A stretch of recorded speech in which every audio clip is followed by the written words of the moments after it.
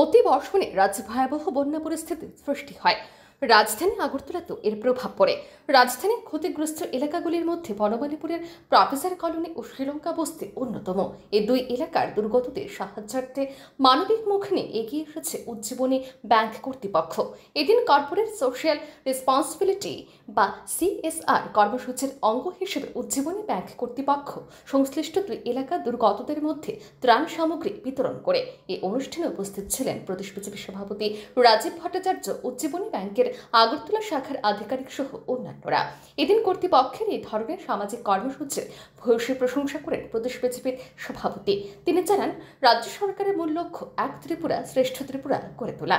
এই কাজে সকলের অংশগ্রহণের জন্য আহ্বান জানান তিনি। প্রদেশ বিজেপির সভাপতি আরও জানান, কেন্দ্রীয় সরকার এবং রাজ্য সরকারের পাশাপাশি সকলের সম্মিলিত প্রচেষ্টায় রাজ্য ক্রমশ স্বাভাবিক অবস্থায় ফিরে আসছে। আজকেও সেটা বাদ যায়নি।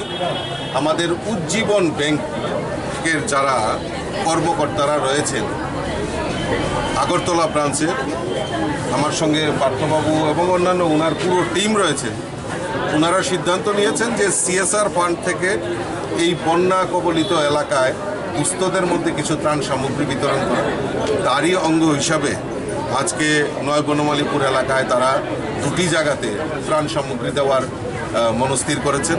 একটি হলো একত্রিশ নম্বর ওয়ার্ড, যেখানে আমরা জানি যে নদী লাগোয়া যেখানে আমাদের আদর্শ পল্লী, প্রফেসর পাড়া, বিভিন্ন জায়গায় যারা ফ্লাডে ক্ষতিগ্রস্ত হয়েছেন, তাদেরকে কাছে কিছু ত্রাণ সামগ্রী তুলে দেবেন। এবং পরবর্তী সময়ে শ্রীলঙ্কা বস্তি, যেখানে আরও বেশি এফেক্টেড হয়েছে, সেখানেও কিছু তারা ত্রাণ সামগ্রী তুলে দেবে। এটাই মানবিকতা। এটাই আমাদের কাছে সবচেয়ে বড় প্রাপ্তি, যেটা আমাদের রাজ্যের মুখ্যমন্ত্রী বারবার বলছেন যে এক ত্রিপুরা শ্রেষ্ঠ ত্রিপুরা এবং সমৃদ্ধশালী ত্রিপুরা।